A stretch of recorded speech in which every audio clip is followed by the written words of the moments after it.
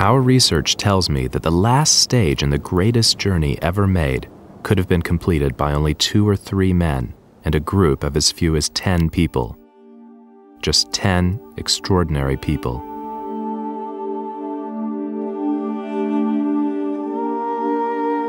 Once they got down there, they discovered that there were a lot of big grazing animals all over the place there, too American buffalo, mammoths, all sorts of things.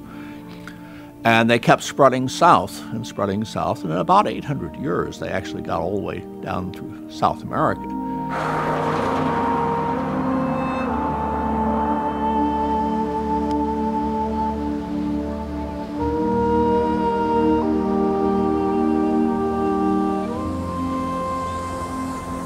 It took our ancestors, those first humans, around 35,000 years to make the perilous journey from Africa to the New World. Today, nearly 500 generations later, their descendants can make the trip in less than a day from anywhere in the world. And every year, for about five days, nearly a million people do precisely that. They come here to Rio de Janeiro for one of the most exuberant celebrations of life anywhere in the globe. That's why I've chosen to end my journey here.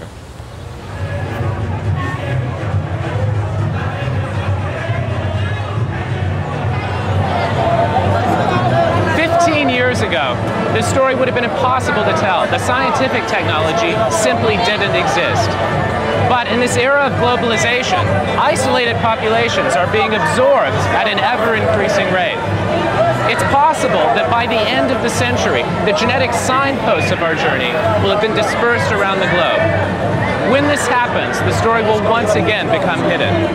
My colleagues and I have been very lucky to be able to tell this story, to decipher the genetic clues during this brief window in history.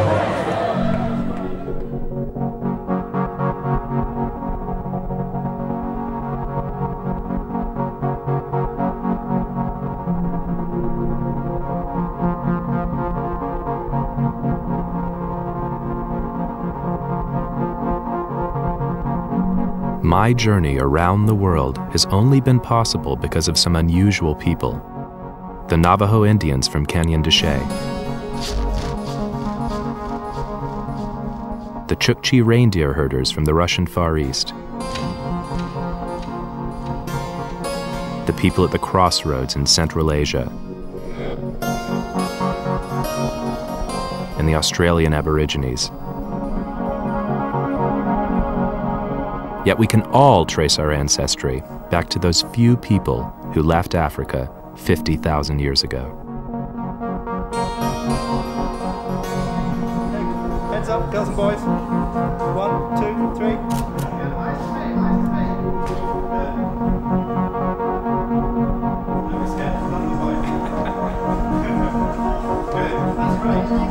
Into your left from Liberia. I'm African and Native American. I'm from New Zealand. My father is Welsh and my mother is Greek English. I'm from Denmark. My father's Danish and my mum is Thai. I'm from the Caribbean. My father's African and Spanish. My mother's Irish German. I'm Slovakian. That's it. Ignore whatever I say. That's lovely. Don't do it. I will. It will be the one they choose.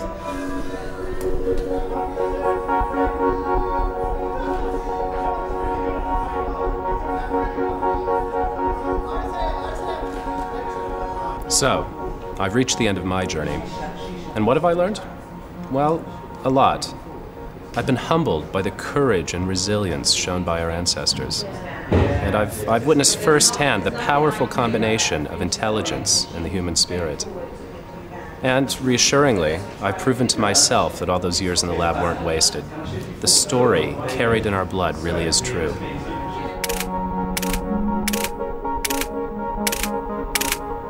But there's one lesson that stands out from all the others. It's a lesson about relationships. You and I, in fact, everyone all over the world, we're all literally African under the skin. Brothers and sisters separated by a mere 2,000 generations. Old fashioned concepts of race are not only socially divisive, but scientifically wrong.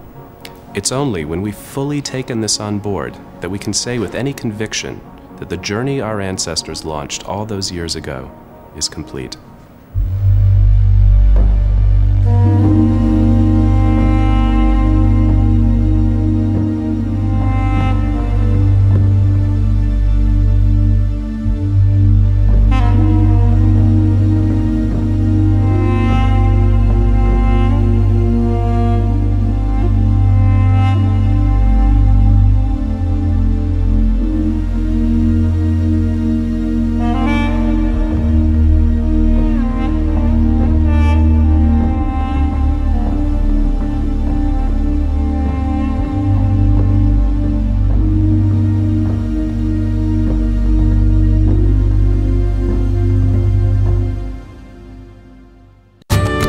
This program